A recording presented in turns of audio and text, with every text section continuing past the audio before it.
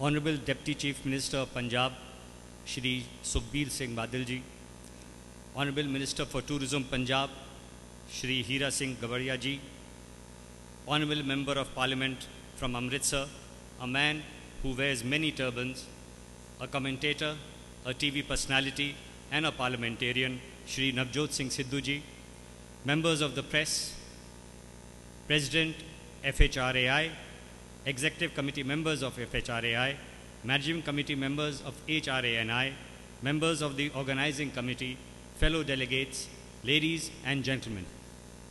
It is my proud privilege and honor to welcome you all to the holy city of Amritsar for the first HRANI convention. HRANI was founded by the legendary hotelier Rai Bahadur M.S. Oberoi, who sowed the seeds of tourism in the country in 1950.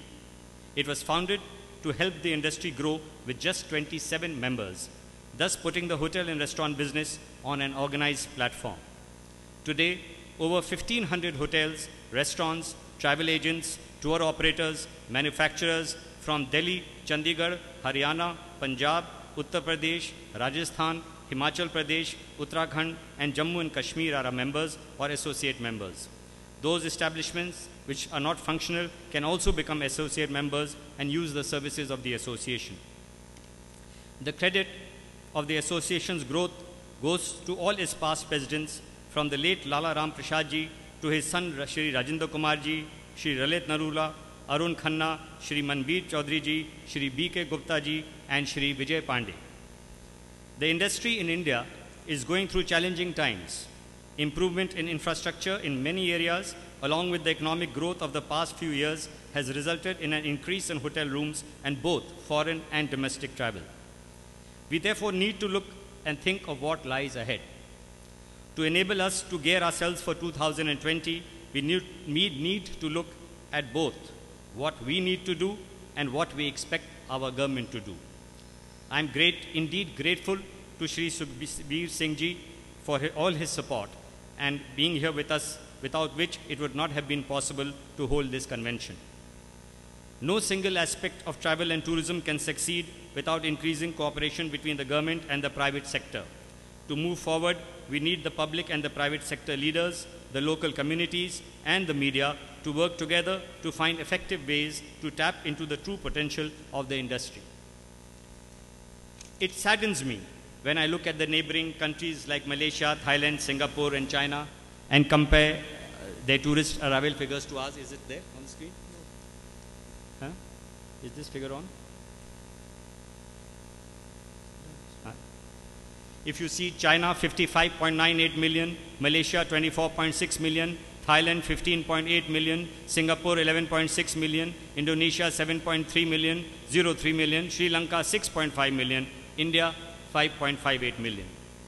Next slide. Even our most famous tourist site, the Taj Mahal, has 3.2 million visitors as compared to the Great Wall of China, which has 10 million visitors.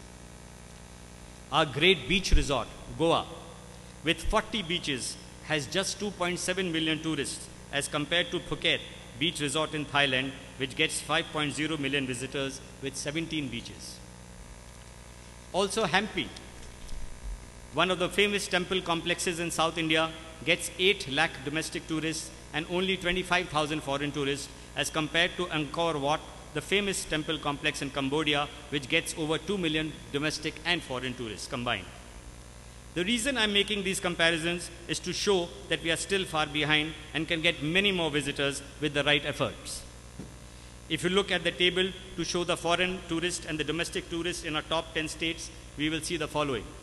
You can see that the domestic tourist plays a very important part in this. The first five states are part of a northern region, and while Uttarakhand has 30.2 million domestic tourists, Himachal shows 4.5 million foreign tourists. These are the figures of the Ministry of Tourism, and it shows the growth of domestic tourism. Punjab does 13 million and is 14th in the list, so it's not here, but it is 13 million and fast growing. India attracts the highest tourist spending compared to other countries. In India, tourists spend up to $2,200 compared to advanced countries where they spend $1,100 only. This is because tourists spend longer time in our country, buys our product, travels the length and breadth of our land, and eventually gives us more money. If you look at our industry's employment generating capacity in comparison to the agriculture sector or the manufacturing sector, our true potential is highlighted. While industry 10 lakh rupees of investment gives 18 employees in manufacturing, 45 in agriculture, 78 is in travel and tourism. We have provided 11 million jobs in the last six years, and by 2020, travel and tourism can create additional 37 million jobs out of the 120 million jobs that are predicted. Therefore, our industry can help to elevate poverty by providing jobs, skills, enabling our people to live their life with dignity. An absence of basic infrastructure, most hotels have to provide their own power backup, water supply, treatment, sanitation, and transport. And perhaps the world's slowest and most opaque government approval process.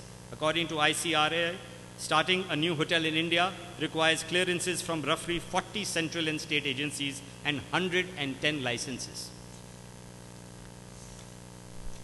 When we look at the scenario in India, we have 1.30 lakh classified rooms in India, which is going up to 1.5 lakhs. And if you compare it to China, China has 15 lakh hotel rooms.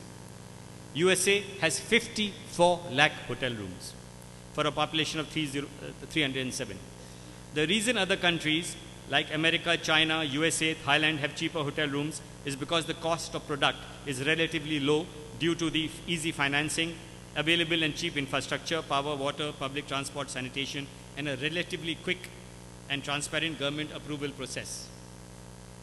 Gujarat has taken the lead and made FSI its FSI 5 while in other states it means 2 to 2.25. To increase the volumes of tourists, we require low budget and mid-segment hotels. Hotels cannot be built in isolated areas. They have to be built where the action is. They can be built near the tourist sites where the business is or the heart of the cities, except in those cities where cheap and fast public transport is available. Therefore, the government needs to look at all these factors to enable us to get land on long-term lease with higher FSI. The largest property owners or landlords today are the state and central government and their various agencies. Many of their buildings built in good locations are lying either in bad conditions or occupied by offices which can easily be shifted and the buildings converted to budget and mid-segment hotels earning further revenue to the departments as well as for the state. It is important that the taxation structure is made simple. Instead of concentrating on increasing taxes on hoteliers, the government should look at increasing the volume of traffic to earn higher revenues. Taxation is a subject that causes a lot of heartburn in the, in the industry, and I will come to it a little more later, sir. Single window clearance for quick and transparent process is necessary and can be done by forming a committee of state and central officials for approving projects. It is important that the existing hoteliers are encouraged by giving them benefits that help them to face competition by giving them low interest loans to renovate or upgrade their properties Hotels willing to do this should be granted the same tax benefits as the new projects as it helps in providing better infrastructure for the city. While making policies for seasonal destinations, the limited season must be kept in mind and the government should offer them benefits like lower tax and electricity tariffs during the off-seasons. Standalone restaurants are an important part of our business and are also the most ignored. They are plagued by numerous licensing needs, restrictive operational timings, and in many states a strict and opaque excise policy where getting licensed to sell alcohol is a nightmare. Apart from this, the numerous clearances require numerous visits from inspectors, and together with unclear and opaque policies, it makes it very difficult for a restaurateur to function smoothly. While we request the state and center to look into our problems and solve them, we too ourselves need to look and see what we can do to face the challenges ahead. 5 million tourists visit India and 10 million Indians go abroad. We need to analyze this. Cheaper fares, better hotel rates have made our neighboring countries a challenge for us. If Bangkok, Malaysia, Singapore, Hong Kong are going to be cheaper than our domestic destinations, we will lose the business. Those going to Bangkok for FHRAI convention must see the infrastructure there, the hygiene levels, the service levels, the rates charged there to see for themselves the competition we are facing. Our hygienic levels are pathetic and our roads are terrible. And though we may not be able to do anything about our roads, our state and city associations must get together with the NGOs and the government to clean up at least our monuments, sites of tourist attractions, main city centers, airports, railway stations, and at least make the people more aware of their surroundings. Some of the finest hotels in the five-star category do exist in India. comparable to the best in the world in terms of service and standards. However, we need to look at our budget and mixed segment hotels, especially those that are run as a single unit managed by one family. In the past, competition arose only in the four and five star hotels. Now, hotels like Ginger, Red Fox, Ibis have made the mark in the budget categories. So the competition is going to increase. Mercures, Fortune, Lemon Tree, Sarovar, Parkins are there in the mid segment and upscale segments. Competition is going to get tougher. Therefore, we need to relook at our product and gear ourselves to meet the challenges ahead. We need to train our staff and not shy away from making use of various training programs with the fear that we will lose the staff. The customer with the reach of television and cheap travel available is definitely more knowledgeable and has high expectations. We need to gear ourselves to meet that. I am continuously amazed that some of our one and two star hotels offer full room service with dirty trays coming into the room while the guest waits for 40 to 50 minutes before the order is delivered. Is there a need for one, two, and three star hotels to provide room service 24 hours? Many European and American hotels of this segment provide only breakfast to guests during the day.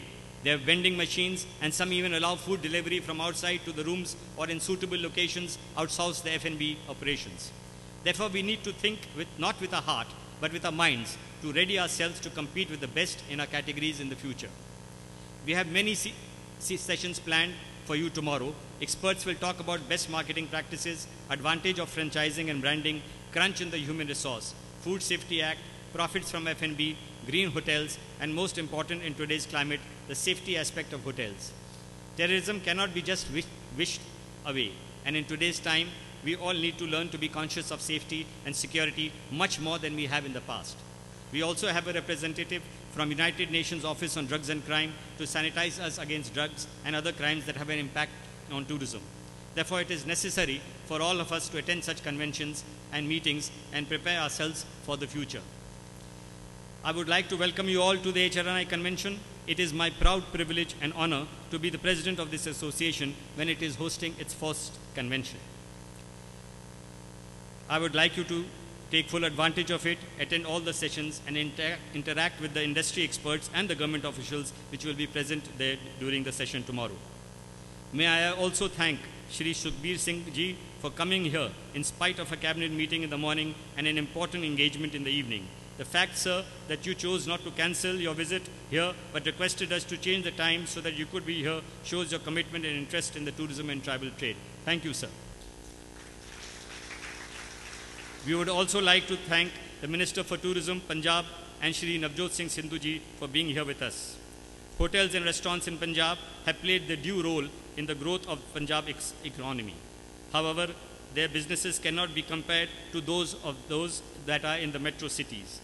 Though it is true that both hotels and restaurants command a very high price in the metro cities, the same price cannot be got in the cities of Punjab and other states. Therefore, high taxation in five-star restaurants or four-star hotels and down the line is because the, we compare them to the like five-star hotels in Delhi and Bombay is not very just. We are now imposed a, uh, by the central government a service tax. We have taken up the matter. We requested the central ministers to uh, uh reduce that. Unfortunately, we did not, uh, our Minister of Tourism did take us to the finance minister, but somehow we could not get any success. We are now in the court where we have challenged the imposition of service tax on our, our, uh, uh, on our industry.